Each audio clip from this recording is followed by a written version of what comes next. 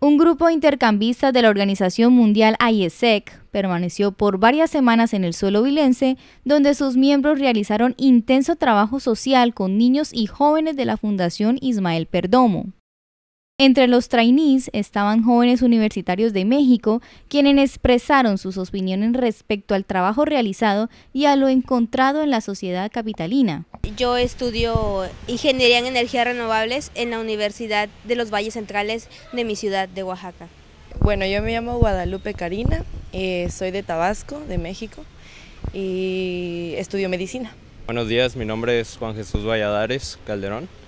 Eh, estudio la licenciatura en negocios internacionales en Tampico, Tamaulipas. Todos coincidieron en señalar que el trabajo altruista los motivó para escoger a esta ciudad para realizar el interesante intercambio. Bueno, a mí me, motiva, me llama mucho la atención todo lo que son proyectos ambientales, entonces considero que es de mucha importancia, considero que, que si yo puedo aportar algo a la sociedad, en este caso Colombia, lo voy a hacer, entonces yo creo que por eso estoy aquí.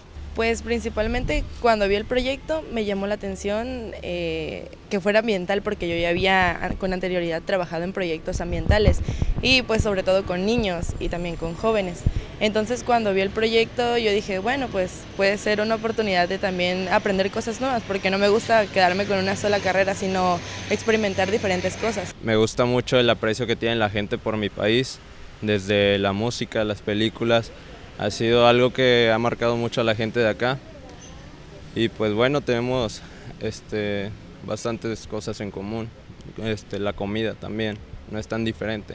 Las costumbres fueron las que más les llamó la atención a estos jóvenes que cursan estudios superiores y se preparan para enfrentar la vida con éxito. No, yo no conocía a ninguno, aunque somos del mismo país, y me siento con, con mucha satisfacción porque ahora tengo amigos de diferentes estados, de Guanajuato, de Tabasco, del distrito, de Tampico, entonces es, es, para mí muy satisfactorio porque te hace crecer como persona, te hace convivir con, con diferentes, eh, bueno, personas de diferentes estados, eh, también conocí a jóvenes de aquí de Neiva, mi familia con la, que, con la que estoy viviendo actualmente. Y han sido muy amables, muy acogedores, siempre que llego mi hija adoptiva mexicana es súper padre el compartir, el convivir experiencias eh, nuevas, el choque cultural que también tenemos es de que luego te preguntan ¿y cómo es México? Y yo les pregunto, ¿no? ¿Y por qué esto en Colombia? Es súper padre la comunicación y aparte sobre todo porque nos dan un techo y compartimos muchísimas cosas juntos. Me gusta mucho que son muy amables y que cualquier problema que tengas pues te ayudan a solucionarlo.